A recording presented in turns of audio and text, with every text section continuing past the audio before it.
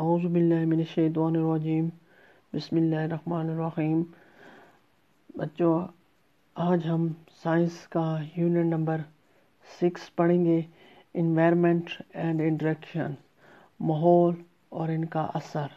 माहौल इंट्रैक्शन कहते हैं एक दूसरे पर असर डालना या बाहमी अमल। तो इस तरह माहौल और इनका आपस में एक दूसरे पर असर डालना।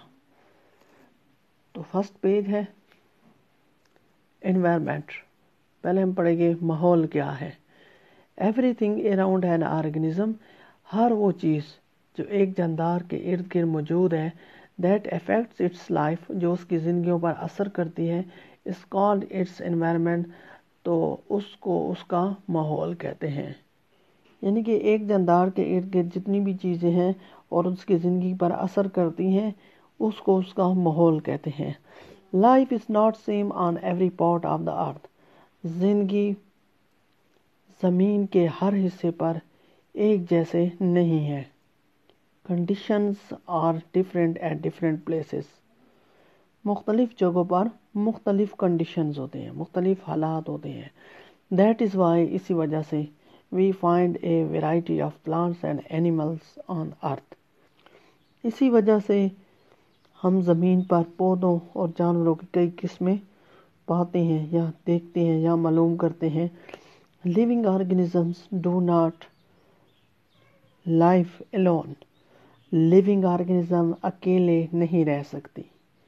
All living things interact with one another all the time तमाम लिविंग थिंग्स इंटरेक्ट असर करती हैं या जुड़ी होती हैं विद वन अनदर एक दूसरे के साथ।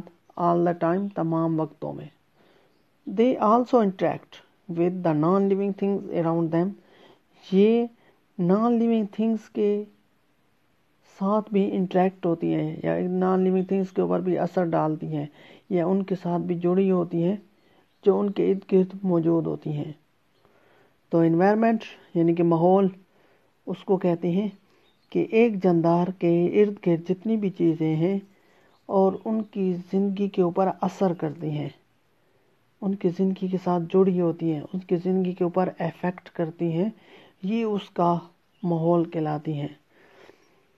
ज़मीन के हर हिस्से पर ज़िंदगियाँ एक जैसी नहीं हैं। कंडीशंस चेंज होते हैं, मुख्तलिफ़ जगहों पर। इसी वजह से इस ज़मीन पर मुख्तलिफ़ किस्म के जानवर, मुख्तलिफ़ किस्म के पौधे पाए जाते हैं। और याद रखें कि लिविंग थिंग्स सिर्फ़ अकेले नहीं रह सकती। ये लिविंग थिंग्स दूसरी नॉन लिविंग थिंग्स के साथ इंटरेक्ट होती है, जुड़ी होती हैं। या लिविंग थिंग्स दूसरी लिविंग थिंग्स के साथ जुड़ी होती हैं। तो इसी तरह हम पढ़ेंगे कंपोनेंट्स ऑफ़ इन्वायरमेंट माहौल के अज्जा या माहौल के हिस्से components environment has two components माहौल के दो हिस्से होते हैं। All plants animals and micro organisms are called living और biotic components of an environment तमाम पौधे, तमाम जानवर, तमाम माइक्रो ऑर्गेनिजम्स इनको हम लिविंग थिंग्स या बियाटिक कंपोनेंट्स कहते हैं माहौल के। Air water light temperature and soil मट्टी constitute non-living or abiotic components of an environment.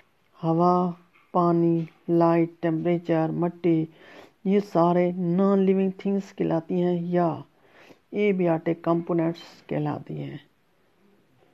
तो बेटा माहौल के दो कंपोनेंट्स यानी कि माहौल के दो अज्जा होते हैं, जितने भी माहौल होते हैं, जिस किस्म की भी माहौल होता है तो ये दो कंपोनेंट से मिलकर बना होता है। इस माहौल के अंदर लिविंग थिंग्स भी होते हैं नॉन लिविंग थिंग्स भी होते हैं।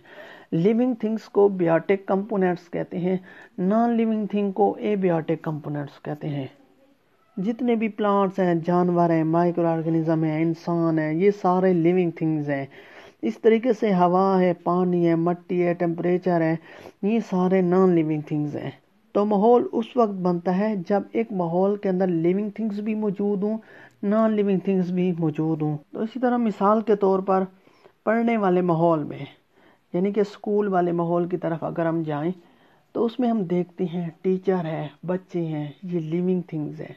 इस तरीके से बुक्स हैं ब्लैक बोर्ड है, चौक है, पेन है, पेंसिल है, किताबें हैं, ये नॉन लिविंग थिंग्स हैं। तो देखिए बेटा लिविंग थिंग्स भी मौजूद है नॉन लिविंग थिंग्स भी मौजूद है। तो ये हमारा एक माहौल बनता है।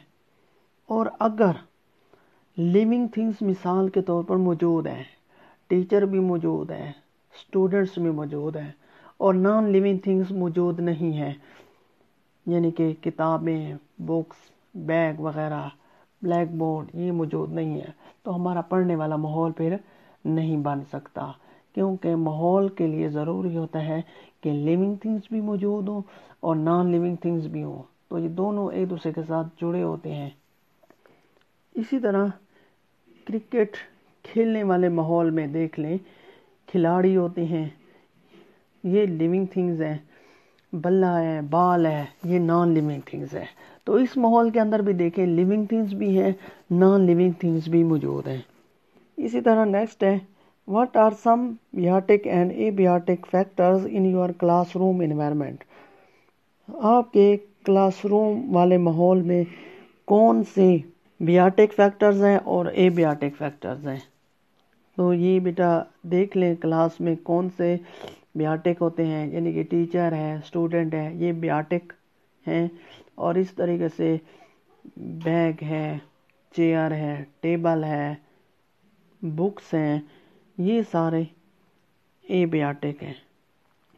तो बेटा ये था हमारा आज का टॉपिक नेक्स्ट इंशाल्लाह, इस चैप्टर के अंदर हम पढ़ेंगे ब्याटेक कंपोनेंट्स ये कौन कौन से होते हैं? ब्याटेक कंपोनेंट्स के अंदर फिर कौन सी किस्में आ जाती हैं? ये सारा हम डिटेल के साथ पढ़ेंगे और फिर हम पढ़ेंगे ए ब्याटेक कंपोनेंट्स तो पहले हम ब्याटेक कंपोनेंट्स पढ़ेंगे, लेकिन ये इंशाल्लाह नेक्स्ट लेक्चर में डिस्कस करेंगे। ओके बेटा अल्लाह हाफिज़।